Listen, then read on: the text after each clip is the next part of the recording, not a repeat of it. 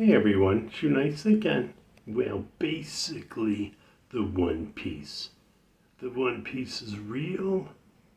Luffy, Senpai, Laudono, and Captain Kid are here to kosher slaughter. Kato's dragging me to cure depression to help YahNayShin be the best musician.